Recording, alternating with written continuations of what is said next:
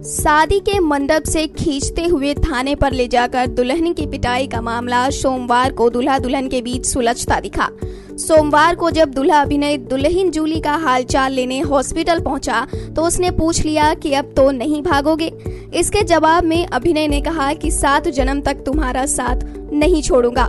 सात फेरों के वचन को भी निभाऊँगा। दरअसल सोमवार की सुबह अभिनय अपनी सास और ससुराल पक्ष के लोगों के साथ सीनियर वकील संगीता शाही के पास पहुँचे। उनके ज़रिए कोर्ट में शपथ पत्र दायर करने के बाद पूरे मामले पर कहा गया कि वे अपने माता पिता और छोटे भाई के साथ हैदराबाद में रहते हैं। वहीं एक निजी कंपनी में काम भी करते हैं। जूली से उनकी शादी की बात चल रही थी, तारीख तय नहीं थी। परिवार वाले नवंबर दिसंबर में शादी तय करने को राज़ी थे। इसी बीच वे अपनी माँ व छोटे भाई के साथ छुट्टी में अपने गाँव मेठी पहुँचे।